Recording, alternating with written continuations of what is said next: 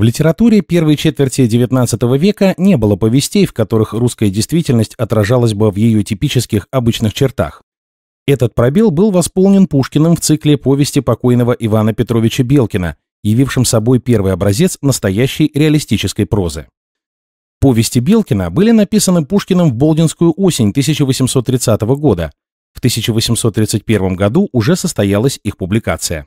В Болдино писатель отправился накануне свадьбы с Натальей Николаевной Гончаровой решать вопросы по наследованию имения. Но вспыхнувшая волна холеры нарушила планы Пушкина, и ему пришлось здесь задержаться на целых три месяца. Эти три месяца в Болдине осенью 1830 года и составили один из самых плодотворных периодов творчества писателя. В своем письме поэту и критику Петру Александровичу Плетневу Пушкин писал «Скажу тебе за тайну, что я в Болдине писал, как давно уже не писал, вот что я привез сюда. Две последние главы Онегина, совсем готовые в печать. Повесть, написанную октавами, которую выдадим аноним. Несколько драматических сцен или маленьких трагедий именно «Скупой рыцарь», «Моцарт и Сальери», «Пир во время чумы» и «Дон Жуан». Сверх того написал около 30 мелких стихотворений. Хорошо? Еще не все, весьма секретное. Написал я прозою пять повестей, и которые напечатаем также аноним. В повести Белкина вошли «Выстрел», «Метель», «Гробовщик», «Станционный смотритель», «Барышня-крестьянка». Главная черта пушкинских повестей Белкина – простота изложения, небольшой объем текста, точность и краткость – вот первые достоинства прозы. Она требует мыслей и мыслей, писал сам Пушкин. В повестях Белкина Пушкин от лица рассказчика, небогатого помещика Ивана Петровича Белкина, изображает современную ему жизнь обыкновенных людей. Иван Петрович Белкин – лицо, выдуманное самим Пушкиным. Благодаря ему и создается впечатление полной достоверности художественного повествования. Белкин и сообщает читателю, что все случаи были им услышаны от разных людей, но всеобъединяющим лицом между историями остается он сам.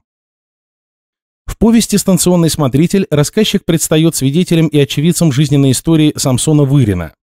Три приезда повествователя на станцию с промежутком в несколько лет изображают постепенное и необратимое угасание жизни смотрителя с момента отъезда дочери Дуни. Рассказчик с участием и сочувствием следит за судьбой смотрителя.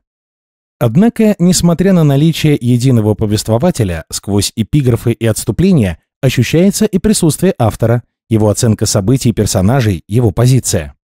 Мнение автора в повести часто отстранено от мнения рассказчика. Иногда автор с иронией выражает собственный взгляд на события в повести.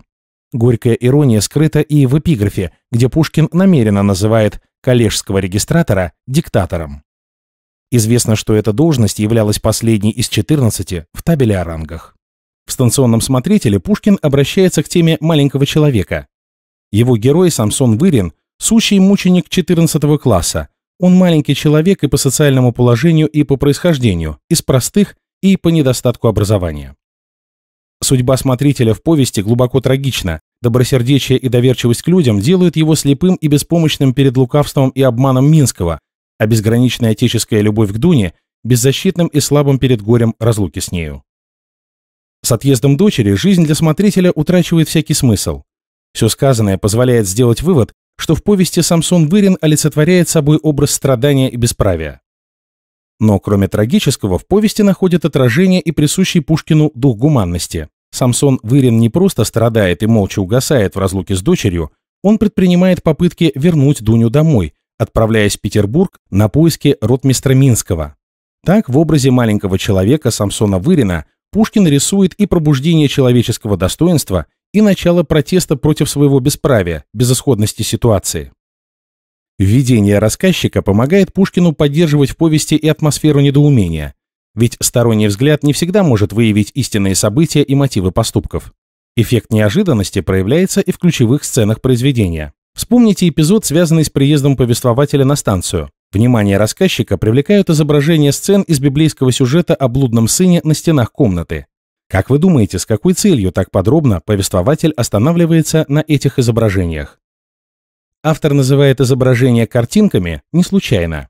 Жизненные представления Самсона Вырина словно застывают вокруг этих картинок, воспроизводящих события библейской притчи. И на все случившееся с Дуней он смотрит сквозь призму увиденного.